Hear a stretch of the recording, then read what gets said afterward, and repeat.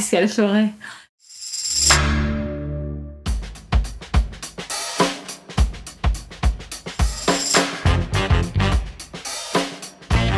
Elle euh, va voir son le mec qui la sert, enfin son servant là, son serviteur, elle lui demande sa carte bleue et elle reprend un abonnement sur la carte bleue de, son servant.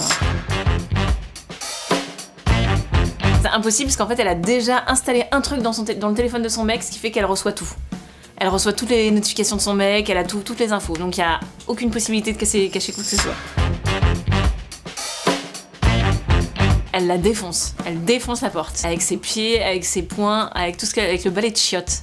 Elle, prend tout ce qu'il y a sous la main, elle défonce. Elle se tape tous les mecs sur le tournage. Tous les gars. Les acteurs, réal, régie, tout le monde.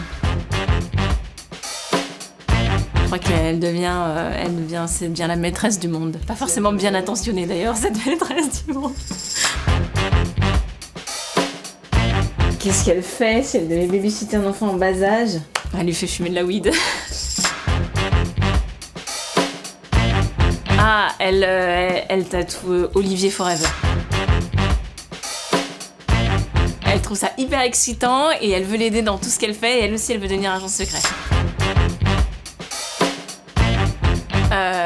Je crois qu'elle prend l'avion et elle va à l'autre bout du monde se bourrer la gueule en plein milieu de la journée, là où il fait, enfin quand il fait jour quoi.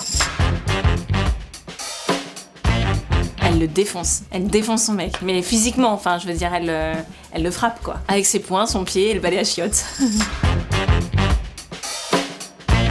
Elle lui dirait que c'est normal, qu'elle comprend. Elle s'y attendait. Qu'est-ce qu'elle ferait euh, Elle lui dirait qu'elle est bien écrite.